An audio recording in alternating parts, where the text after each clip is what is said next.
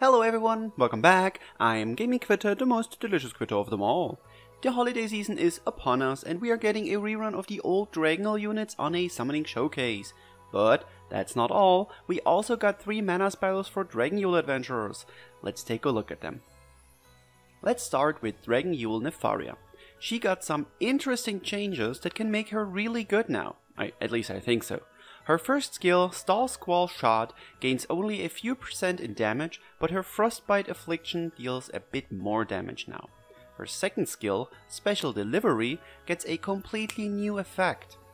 Nefaria used to be only able to give out shields with her Force Strike, but now using Special Delivery gives all nearby allies a one-use shield that nullifies damage less than 20% of the user's HP and increases their energy level by 3 stages and gives Nefaria two gifts which she then can use to distribute more shields and increase people's energy levels by another 3 stages.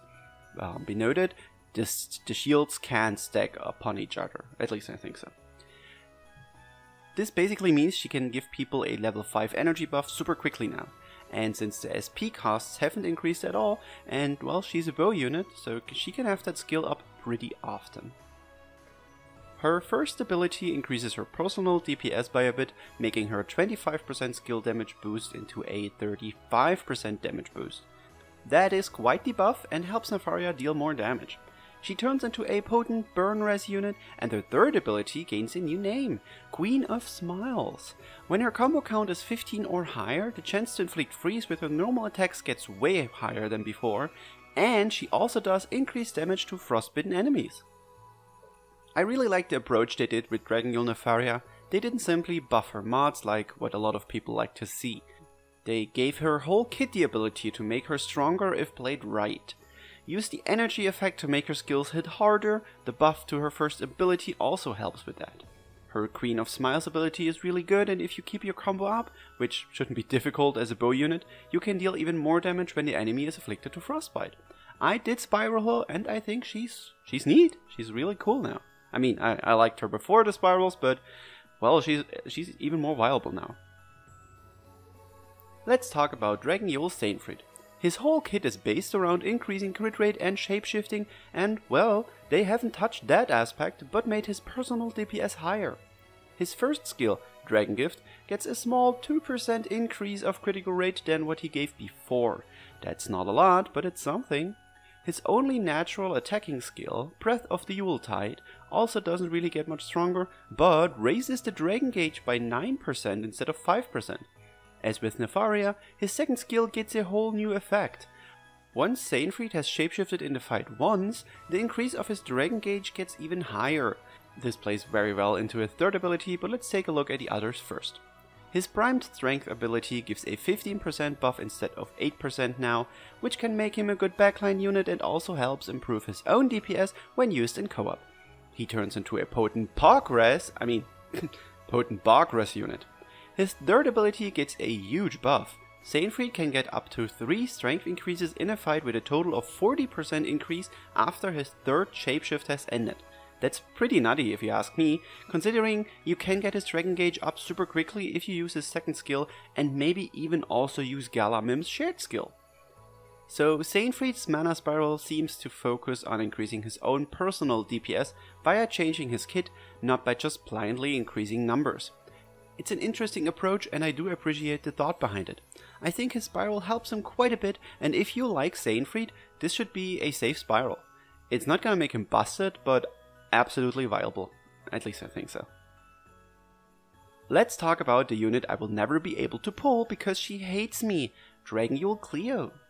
Her first skill, Starlit Gift, gets a small increase in numbers, more importantly though, her freeze mechanic is changed to make the players have more control over when to freeze the enemy, like with Renee for example.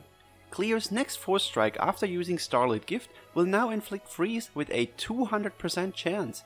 That is pretty crazy. If you use this skill on a helper or as a shared skill, it will inflict freeze with a chance of 140%.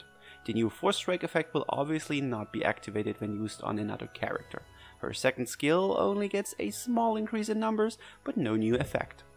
The changes to her first ability make Cleo a bit more tankier, since now she not only gets an increase in strength, but also in defense when her HP is above 70% or more.